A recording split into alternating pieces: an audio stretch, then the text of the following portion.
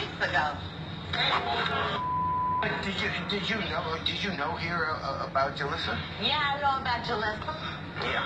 All I want to do is for us to come and sing. Oh, so you're okay you got that to offer she's this a part of it too. You just want it all to be together. Yeah, because teamwork makes the dream work.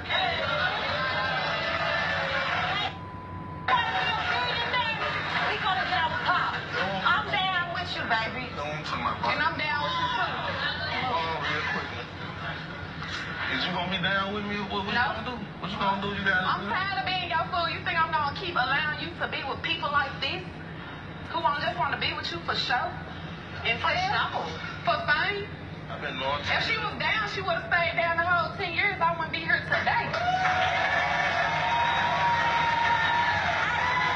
I'm being down for you. I don't never. And I'm still here? No, you should have reunited. That's what you do. Yes, I agree united far as sexual wise with him. But me and him never stop. I'm never going. We would have been made it to the I'm never going nowhere. We would have been the same years before you, ten more years after you. If she look, this is your decision. But if she says, if you continue to see other women, you know, sexually, that she's leaving, what decision would you make? Would you say bye, or would you say, oh, don't leave? Okay, I'll try to be faithful. Really, I gotta say back to she ain't down with me. She ain't down what I'm trying to do.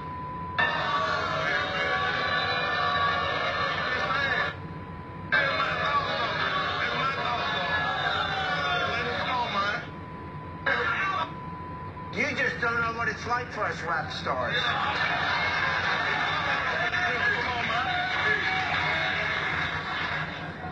I'm just trying to bring everybody together. We, Yeah. we can't be one.